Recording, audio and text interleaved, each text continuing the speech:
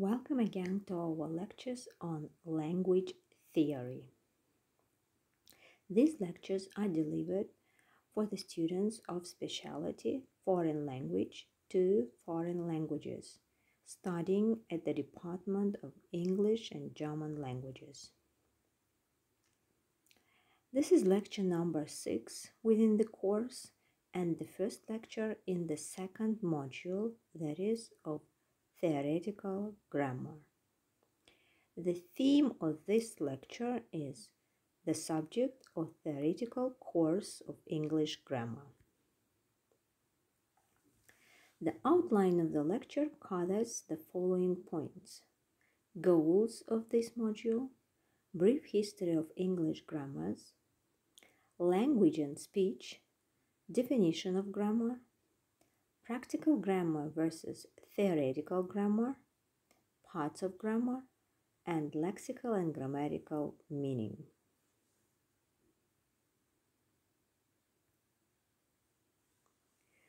The goals of the module Theoretical Grammar are as follows to provide a description of the grammatical structure of the English language as a system to clarify the scope of grammar in a systematic and theoretically coherent way, and to develop students' critical thinking skills. Now let's speak about the brief history of English grammars. Until the 17th century, the term grammar in English was applied only to the study of Latin. Latin grammar was the only grammar learned in schools. Until the end of the 16th century, there were no grammars of English. One of the most popular Latin grammars was written in English by William Lily. It was published in the first half of the 16th century and went through many editions. This book was very important for English grammar as it set a standard for the arrangement of material. Latin grammatical paradigms with their English equivalents made possible the presentation of English forms in a similar way, using the same terminology as in Latin grammar. Generally speaking, the history of English grammars may be divided into two periods. The first is the age of pre scientific grammar, beginning with the end of the 16th century and lasting till about 1900. By the middle of the 18th century, when many of the grammatical phenomena of English had been described and the English language norms established, the pre normative grammars gave way to a new kind of grammar, a prescriptive or normative grammar. It stated strict rules of grammatical usage and set up a certain standard of correctness to be followed by mm-hmm. learners. By the end of the 19th century, when the system of grammar known in modern linguistics as traditional had been established, there appeared a new type of grammar, the scientific grammar. In contrast with prescriptive grammars, the classical scientific grammar was both descriptive and explanatory. Henry Sweet's grammar book appeared in the last decade of the 19th century. A New English Grammar, Logical and Historical. The title of the book speaks for itself, so it is common practice nowadays to take the date of 1900 as the dividing line between the two periods in the history of English grammars and the beginning of the age of the scientific grammar. Classical scientific grammar accepted the traditional grammatical system of prescriptive grammars. During the first half of the 20th century, an intensive development of scientific English grammar took place, with great contributions to it being made by Otto Jespersen. In the 1950s, a new trend in linguistic studies came to the fore that is, the structural grammar. It was very popular with grammarians for about 40 years and took different directions in its development, which are known as descriptive linguistics, transformational grammar, generative grammar, and generative semantics. The first linguists to speak of a language as a system or a structure of smaller systems were Baudouin de Courtenay and Fortunatov of Russia, and the Swiss linguist Ferdinand de Saussure. You can see the pictures here.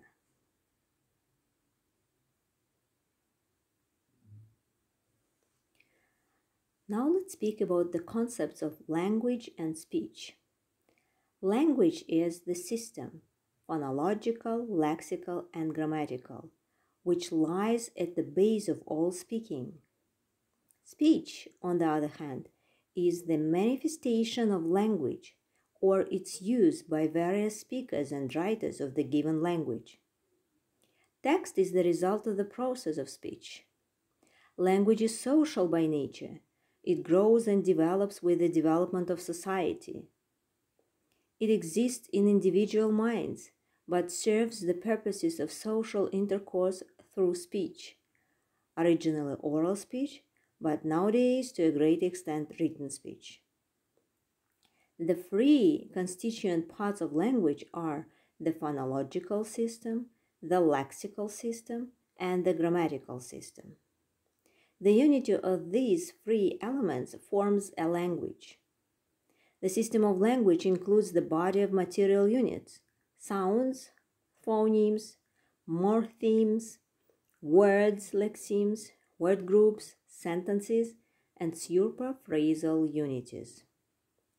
According to them, we distinguish between six levels of linguistic analysis.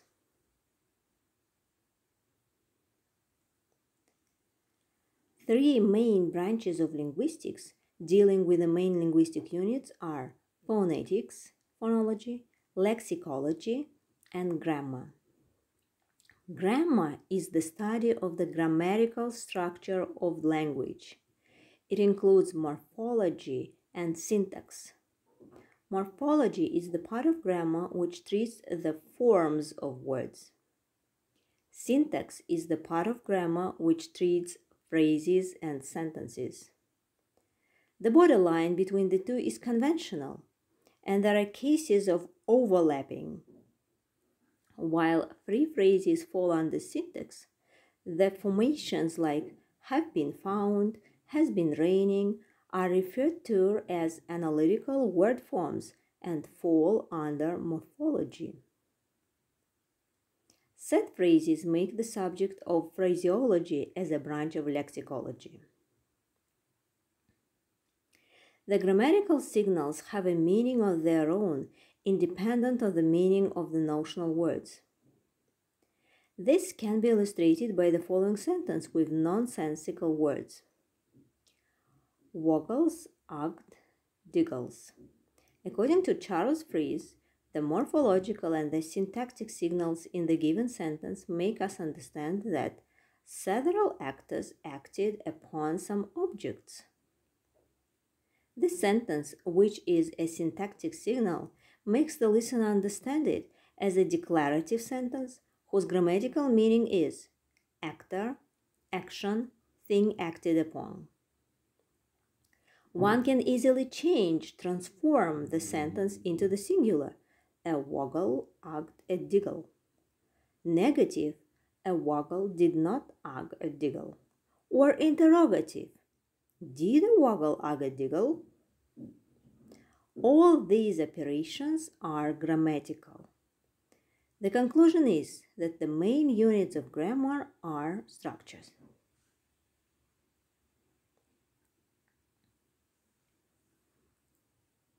but grammar can be practical and theoretical. Let's have a look at the difference between them. Practical grammar is often used to refer to the best means of achieving a good command of a language. It prescribes a set of nominative rules based on the standard English. Theoretical grammar can be understood in a more scholarly way as the framework of grammatical concepts throughout the centuries. Theoretical grammar describes and analyzes facts of the language without giving any prescriptions. It is a scientific type of grammar, and it does not give a ready answer about how certain grammatical phenomena should be interpreted.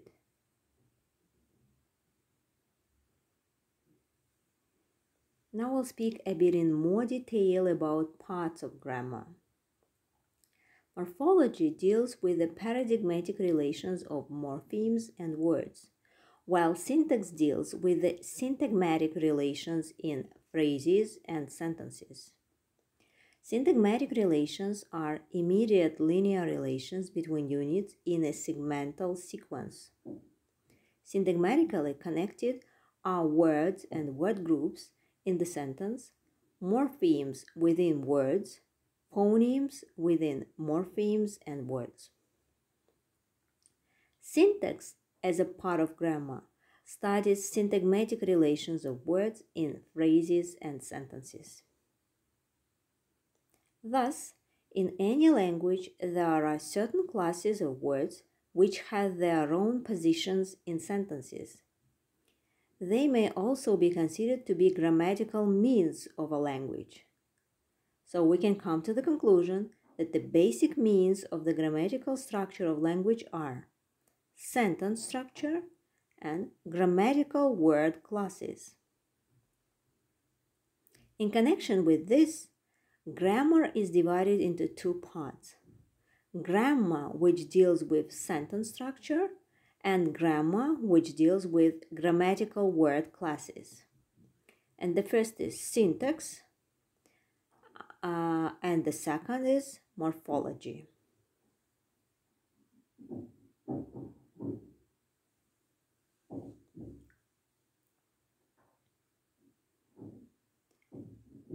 And we will finish our lecture uh, discussing the lexical and grammatical meaning.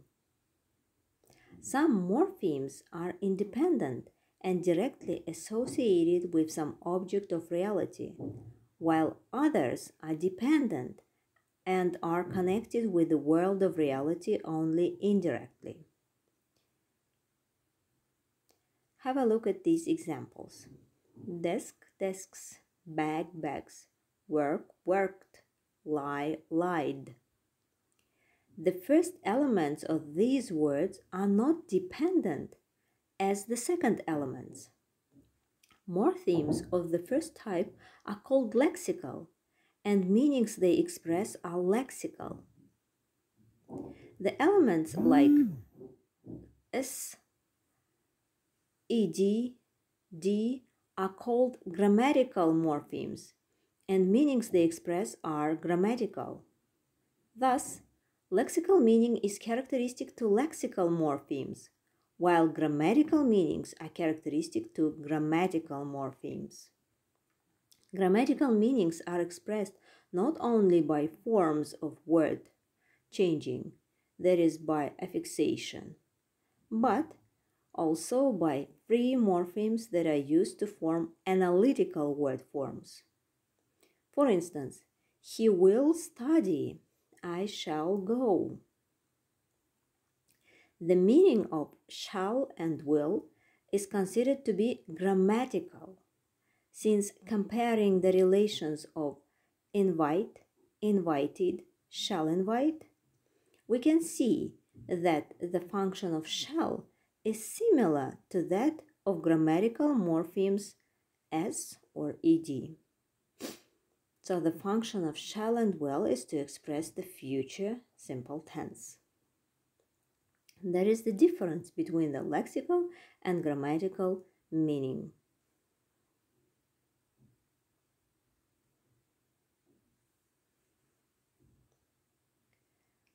As usual, you are offered to answer a set of comprehension questions. If you can answer them, uh, you can be sure you have understood the content of the question of the lecture.